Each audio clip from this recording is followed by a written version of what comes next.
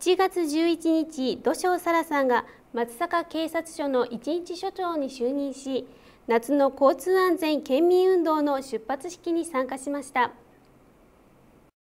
夏の交通安全県民運動の出発式は多気町にある万境文化会館で行われ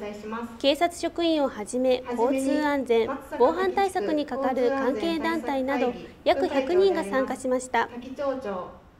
はじめに式典で松坂滝地区交通安全対策会議副会長を務める滝町長の久保幸夫さんや松坂警察署長の浜口博文さんが挨拶し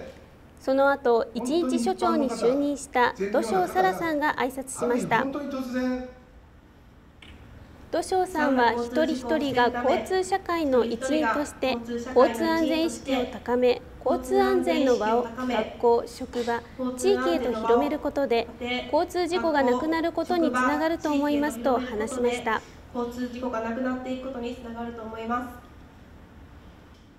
次に津田認定こども園佐奈保育園の園児17人が交通安全のお約束を元気よく発表しました。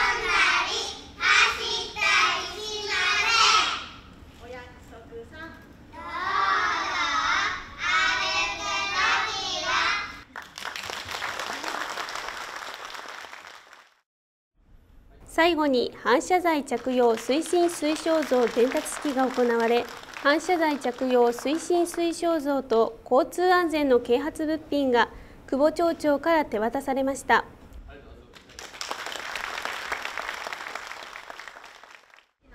この後駐車場で出発式が行われ白バイを先頭に車両部隊がパトロールに出発しました。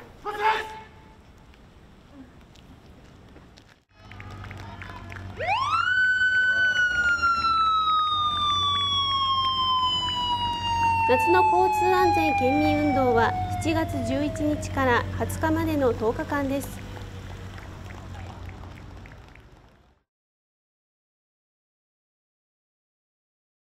まあ、夏場はですね、まあ、この、えー、猛暑、酷暑でですね注意力が3万となってまいります。注力3万だとですね、えー、横断歩道の直近に人が立っていても気づかずにですねそのまま通ってしまったり最悪の場合横断歩道を渡っている人に気づかずに衝突してしまうというような事故が発生するリスクがあると思いますので皆さん休養を十分にとってから運転をするようにしてください。